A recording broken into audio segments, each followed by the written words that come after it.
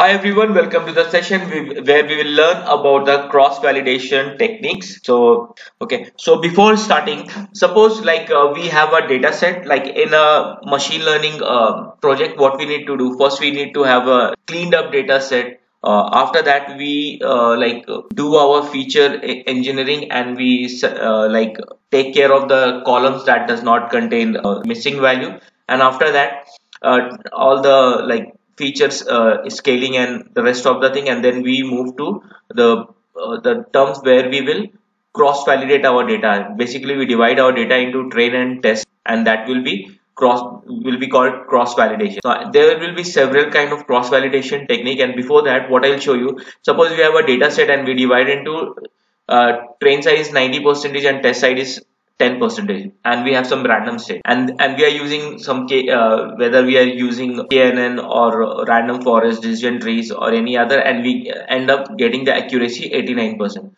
When we again uh, resize the train and test with 85 and 15 percentage accuracy will again change. In the next process again if we change from uh, like the train and test size 80 and 20 accuracy again changes. Accuracy is not getting fixed. We are not getting a fixed accuracy somewhere which lies within a range of uh, plus and minus 5 light 88 89 85 here it is changing. The minimum accuracy is 59 and the maximum accuracy is 92 so if you take this model to your stakeholders or your like client they will not be satisfied then in this case you need to do something else okay? And that's where the cross validation will come into picture.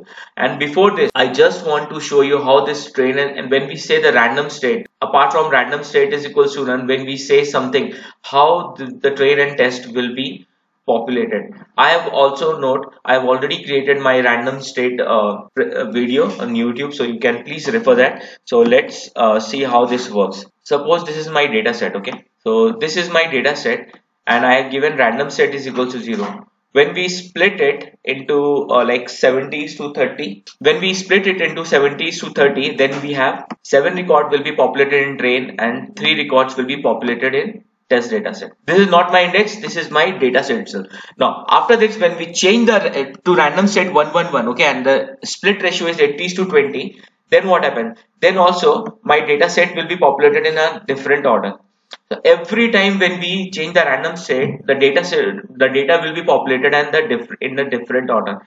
And this is very much important because if you are training your suppose if you are keeping your data set sequentially, okay, you are doing a train from 0 to from 0 to 8 sequentially you are training it your data based on the first 8 records okay? And when you are testing it based on the last two record if the last two record does not have the data similar to whatever which is present here your model will fail. So that's why we have to we have to think about generalizing your model. Even if it is not trained on a particular thing it will it should not show a very horrible result. It should go uh, okay generalized kind of result.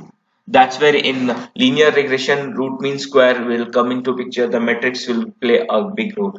So let's start now. Now what is cross validation? Cross validation is a statistical method used to estimate the performance or accuracy of the machine learning model and in a typical machine learning task, we have to properly identify the problem that we pick the most suitable algorithm which give us the best score. So how do we achieve this? Getting the best score is a big, big task. Okay, so how do we get this best possible score? So in order to achieve the above, we have to train the model with the available dataset and then we need to find how well our model perform and the dataset that we have trained. That is the error this is not a good practice to uh, check your model how it is performing on our trained data it should be checked how it is performing on our test data set.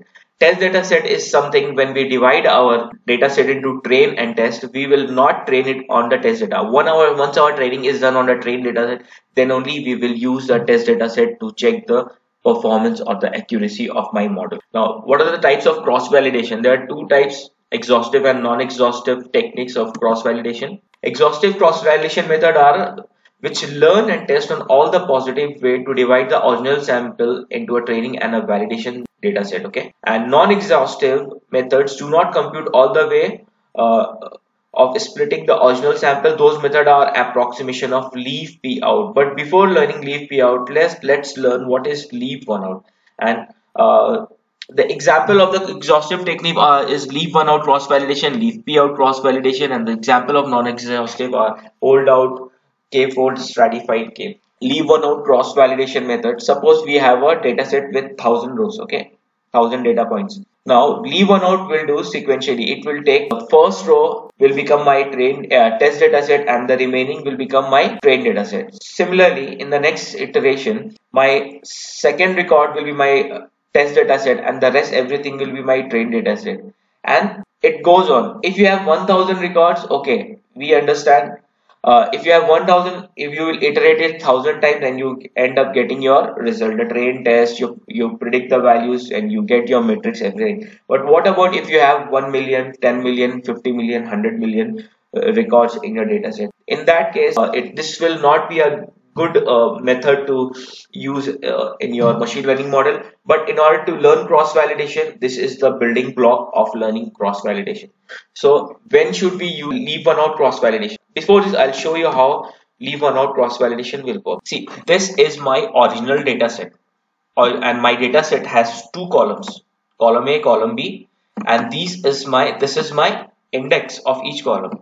So when we run in the first iteration okay and i'm just showing here with an example of 10 records. I don't want to create it messy with 1000 or 100 or 1000 so in this case when we have 10 records in the very first iteration this 0 will be my test data set and the rest from 1 to 9 will be my train data set.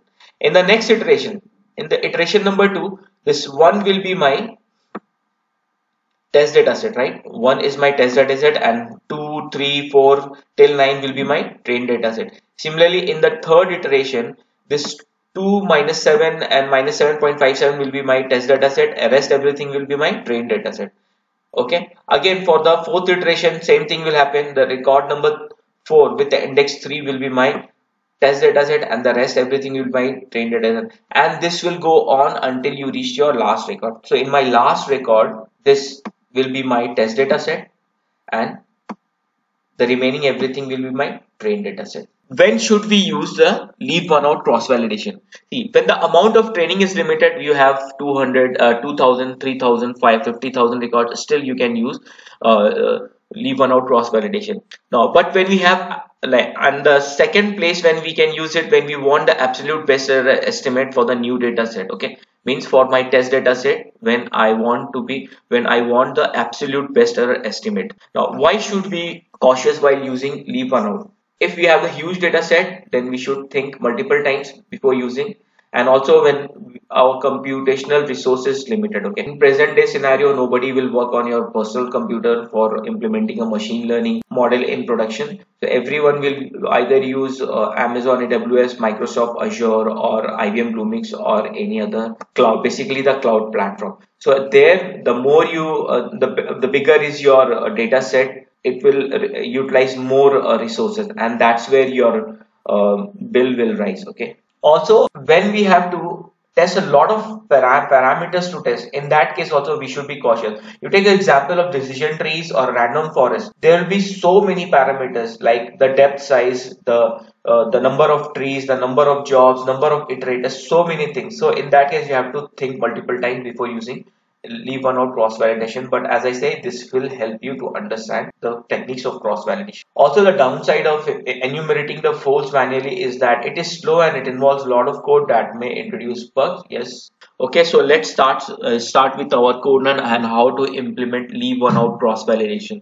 In this session i will show you these two terms these two techniques. Implement leave one out cross validation normally and using the cross val score. I don't want to make this uh, video very big so this i will be explaining in the next video but next video uh, in some uh, like in the continuation of video it will be there okay my next video will be related to hold one out cross validation. So what i'm doing here i'm creating a data set with a uh, number of records 10 and it, it will have two columns where the random state is one and before that i am uh, importing make blobs leave one out from model selection and random forest classifier regressor everything. So i'll come simply give shift enter so this cell will be executed. This will take some time. After this we will create an object of leave one out cross validator and we'll also execute this. We will before running into the process we'll see what is my x and what is my y. So my x is this and my y is this okay? Now what I will do I will just simply uh, iterate through the cross CV uh, like uh, folds okay? How so let's execute this and then we'll understand. So as per what I said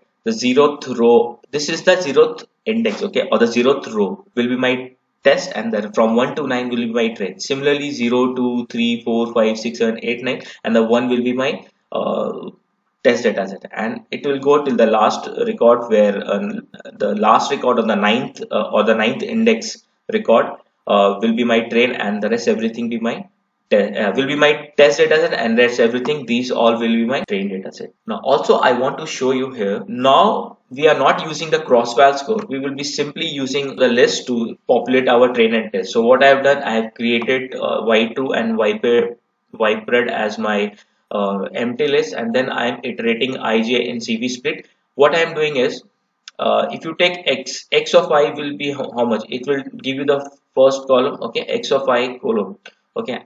This will go on and then you will, uh, uh we will print the x train and x test. Let execute, we will execute this, okay. So what happens? See, the very first index, in the the very first time, okay, this minus 8, the very first row or the zeroth index will become my test and the rest everything is train in the next time this minus 8 is my second row or the uh, row with the first index will become my test and the rest everything is train and so on it is divided okay now after this what we have done once we are done with our train and test what we are creating we are creating a model okay? Random classifier. This is a typical case of classification. We are uh, we are and we have to predict three uh, our output will have three classes 0 1 and 2 that's what i've shown you here. 0 1 and 2 is a uh, like we will predict. And then we are fitting our model and followed by the predicting. Once we predict that what we are doing we are appending everything into my y true what is my actual value. I'm uh, appending everything followed by y pred we are doing this because to actually check my accuracy. So once we execute this our accuracy will be there and then uh, I will run this. So we the, our model is 90% accurate okay? It's a simple model so that is fine. The same thing we have like uh, we have the data set here okay we have created a leave one out um, uh, object for a leave one out and then we have iterated this. We have not used any um, any cross validation uh, any scikit-learn technique to get this uh, train and test explicitly and we our work will be very easy. So what we have done here is we have uh, defined everything and we have predicted the accuracy. Instead of that doing all those things what we can do is eh, we can implement leave one out cross validation using the cross val score. Okay? So cross val score what it will do it will give you based on your number of points in our cross validation if you see i have 10 points right? 10 data sets. So it will find my accuracy 10 times and then what it will do crossval score will get you the mean score of all these so what we'll do from sklearn.model score execute this and then we will create a random forest classifier and then we will execute this score okay? Before getting the mean how many values will be there in my score? 10 times right? 0 1 2 3 because there are 10 cross validations here. There are 10 cross validation first second third fourth fifth sixth seven eight nine and then if you give the mean of this you get the accuracy okay of all this. So cross val score will play a big role in uh, like when we use holdout data set or it's basically in the k fold uh, cross validation uh, concepts okay? So that will be very helpful. And before the before winding up this session i want to show you one more thing. What are the disadvantage of leave one out cross validations is like basically the iteration which matters. If the iterations are huge. Low bias plays a big role and moreover this is outdated and it is not used nowadays thanks a lot for watching the session. If you feel this video is helpful please press the like button. And uh, also there is uh, applause button. You can applaud me if you feel this video is helpful. That will help me to create more videos. And uh, my next video will be related to the holdout data set will be related to holdout data set. So i will see you in my next video. Thank you